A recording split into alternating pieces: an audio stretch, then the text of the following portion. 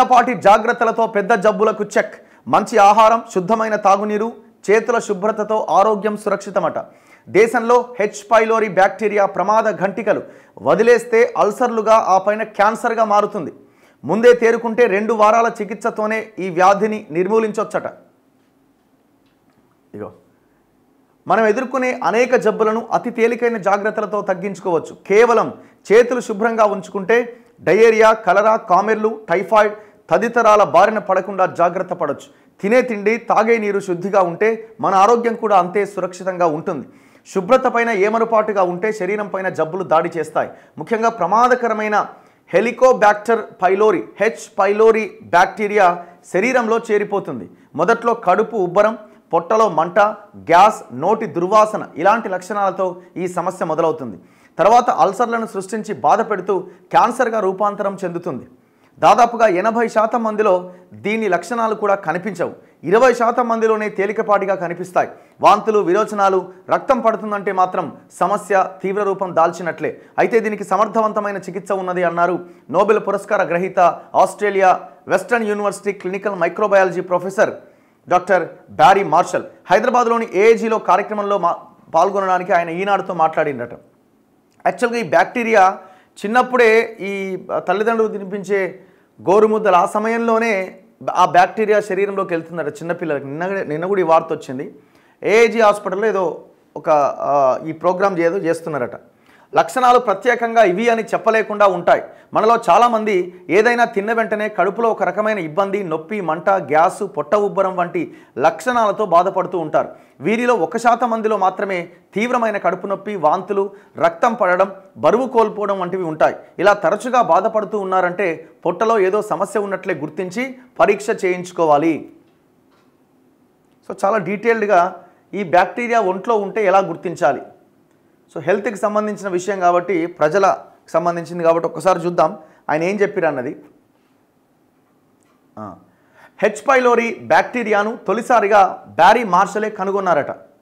So ఆయనే హైదరాబాద్కు వచ్చిన ఒక ప్రైవేట్ హాస్పిటల్కి. పొట్టలో పూత అంటే పెప్టిక్ అల్సర్కు ఈ బ్యాక్టీరియా కారణమని దీర్ఘకాలంలో క్యాన్సర్కు దారితీస్తుందని తేల్చారు. దీనిపైన డాక్టర్ రాబిన్ వారెన్తో కలిసి ఆయన పరిశోధన చేశారు.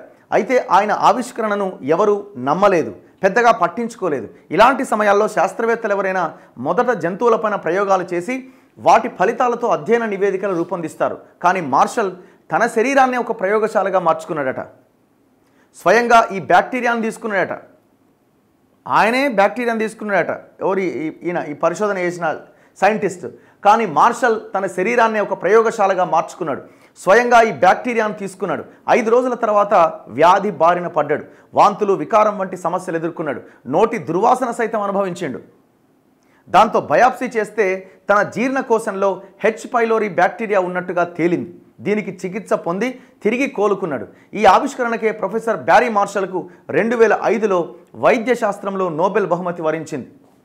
హెచ్ పైలోరి చికిత్సలో ఏమైనా పురోగతి సాధించామా? భారత్ పైన దీని ప్రభావం ఎలా ఉన్నది? ప్రశ్న. జీర్ణాశయంలో అల్సర్లకు ఆమ్లాలు కారణమని మొదట్లో భావించేవారు.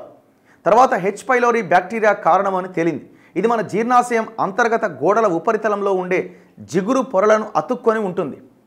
దీని ఉనికిని శ్వాస మల రక్త పరీక్షలు ఎండోస్కోపీ పరీక్షల త- ద్వారా నిర్ధారించవచ్చు. రెండు వారాల పాటు యాంటీబయాటిక్స్తో చికిత్స అందిస్తే సరిపోతుంది. చికిత్స తర్వాత పూర్తిగా నయమైందా లేదా అని తెలుసుకోవడానికి మళ్ళీ పరీక్ష చేయాల్సిందే. భారత్ చైనా అమెరికా ఆస్ట్రేలియా దేశాలతో పాటు ఆఫ్రికా యూరప్ ఖండాల్లో కూడా ఎక్కువ మంది ఈ బ్యాక్టీరియాతో బాధపడుతున్నారు. భారత్లో షుగర్ పేషెంట్ల సంఖ్య కంటే పదింతలు అధికంగా బాధితులు ఉంటారని అంచనా. అంటే షుగర్ పేషెంట్ల కంటే ఇంకా టెన్ టైమ్స్ ఎక్కువ ఉంటారట ఈ బ్యాక్టీరియా బారిన పడ్డవాళ్ళు. స్వల్ప లక్షణాలు ఉన్నప్పుడే యోగట్ పెరుగు వంటి ప్రోబయాటిక్స్ వాడితే ఉపశమనంగా ఉంటుంది. పూర్తిగా నయం కావాలంటే మాత్రం యాంటీబయాటిక్స్ వాడాల్సిందే. ఈ ప్రోబయాటిక్స్ కర్డ్ పెరుగులో ఉంటాయట యోగట్ అనేది కూడా దొరుకుతుంది దాంట్లో ఉంటాయట. అండ్ ఇంకోటి మనం రాత్రి చేసుకునే తెల్లారి తినే చద్దన్నంలో కూడా ఈ ప్రో ప్రో బ్యాక్టీరియా ఉంటుంది. అంటే బాడీకి ఉపయోగకరమైన బ్యాక్టీరియా అన్నమాట. ఒకరి నుంచి ఒకరికి ఎలా సోకుతుంది? నోట్లోని లాలాజలం ద్వారా ఈ బ్యాక్టీరియా ఒకరి నుంచి మరొకరికి వ్యాప్తి చెందుతుంది. సాధారణంగా ఒక కుటుంబంలో ఒకరికి హెచ్ పైలోరి బ్యాక్టీరియా ఉంటే అందరికీ ఉండే అవకాశాలు ఎక్కువగా ఉంటాయి. ఒకరికి ఉన్నదంటే మిగతా వాళ్ళందరికీ వచ్చేస్తుందట.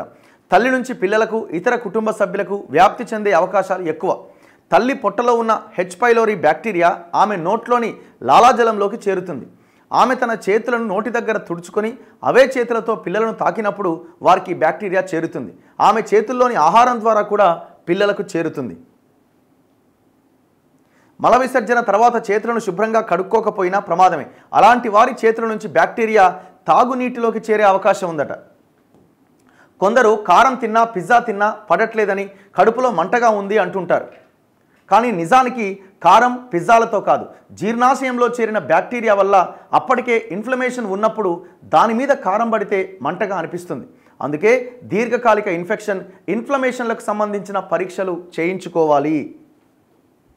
ఇది కొందరిలోనే ప్రమాదకరంగా మారడానికి ప్రత్యేకమైన కారణాలు ఏమైనా ఉన్నాయా? హెచ్ పైలోరి అందరిలోనూ తీవ్రమైన ప్రభావాన్ని చూపించదు. దీనికి కారణాలపైన పరిశోధన జరుగుతోంది.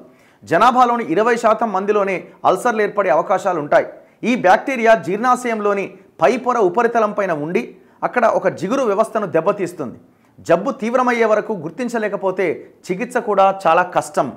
హెచ్ పైలోరి శరీరంలోకి ప్రవేశించిన పది పదిహేనేండ్ల తర్వాత పొట్టలో ఆమ్లాల శాతం గణనీయంగా తగ్గిపోతుంది. అలాంటి ఒక శాతం మంది క్యాన్సర్ బారిన పడడానికి అవకాశాలు ఎక్కువగా ఉంటాయి. నూట నలభై కోట్ల జనాభా ఉన్న భారత్లో ఇరవై శాతం మందికి అల్సర్లు ఒక శాతం మందికి క్యాన్సర్లు క్యాన్సర్లు వస్తే అది చాలా పెద్ద సంఖ్యనే. చిన్నారులో ఈ బ్యాక్టీరియా లక్షణాలు గుర్తించవచ్చా పిల్లల్లో లక్షణాలు పెద్దగా కనిపించవు. వారికి చికిత్స కూడా కష్టమే. ఎందుకంటే పిల్లలకు పెద్దల మాదిరిగా యాంటీబయాటిక్స్ను ఇవ్వలేం. ఎక్కువగా ఇస్తే వారిలో యాంటీబయాటిక్స్ నిరోధకత పెరిగే ప్రమాదం ఉన్నది ఇంట్లో శుభ్రతను పాటించడం ద్వారా పిల్లలకు సోకకుండా జాగ్రత్త పడాలి. అయితే యాంటీబయాటిక్స్ విచ్చలవిడిగా వాడకంతో అవసరం ఉన్నప్పుడు అవి పనిచేయట్లేదు. అందుకే వీటి వాడకం పైన నియంత్రణ చాలా అవసరం. ఈ బ్యాక్టీరియా బాధితులు ఎక్కువగా ఎక్కడ ఉంటారు? పట్టణాలతో పోలిస్తే గ్రామాల్లోనే హెచ్ పైలోరీ బాధితులు చాలా ఎక్కువ.